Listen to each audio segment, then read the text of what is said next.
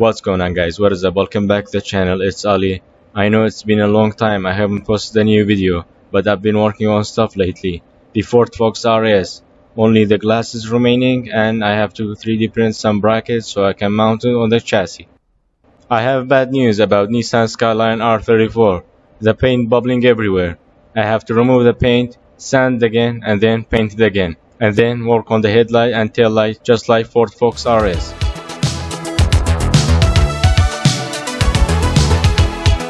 The scissor lifter project is done.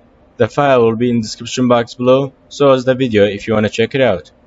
The Sakura D5 chassis almost done. I'm only waiting for the gyro so I can do some sliding. 3D printed jet engine video coming very very soon. I got some new LiPo batteries and it will be mounted on my ARRMA Kraton 6S. And also I will unbox this boat so I can see if it's any good.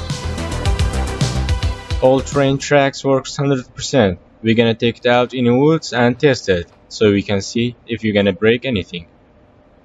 I ordered all metal carbon fiber SCX10 chassis. Man, the quality is insane. We're gonna design a body on SketchUp and then 3D print it, and it will be in upcoming projects.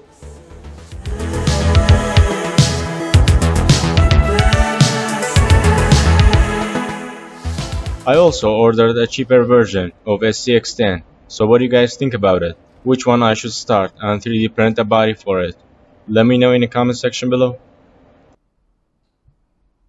I also ordered these.